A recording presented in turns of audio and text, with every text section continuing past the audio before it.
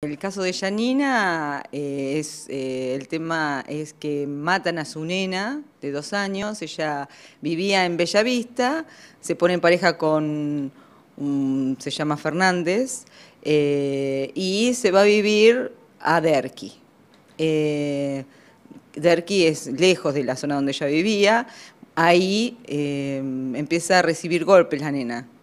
Eh, y termina eh, falleciendo de los golpes. Ella muere de un golpe en la cabeza. Cae eso en una fiscalía de género. Eh, y la acusan a Janina de abandono de persona seguida de muerte.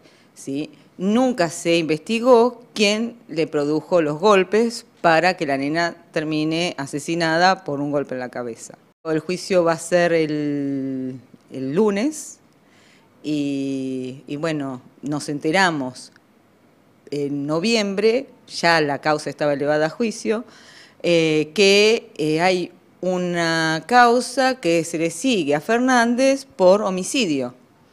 Entonces nosotros vamos a plantear una nulidad, una nulidad en la acusación, porque la defensa no sabía de esa causa, hay testigos que declararon en la causa de Fernández, eh, digamos, hay pruebas y se está investigando el crimen de la nena.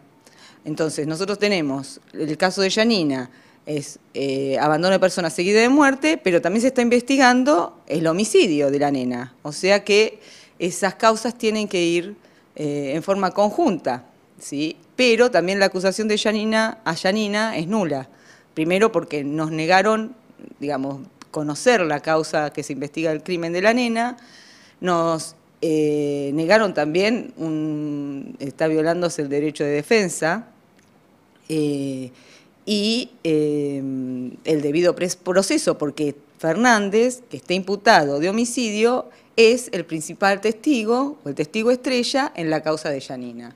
Por la acusación de Fernández es que Yanina fue acusada de abandono de persona. El abandono de persona tiene que ser un abandono doloso. Yanina puede ser digamos, que no se haya dado cuenta de los golpes que tenía la nena, eh, pero en ningún momento ella lo hizo de manera dolosa. ¿sí? Ella estaba en un contexto de violencia, ella es víctima de la violencia, no, ella no fue victimaria.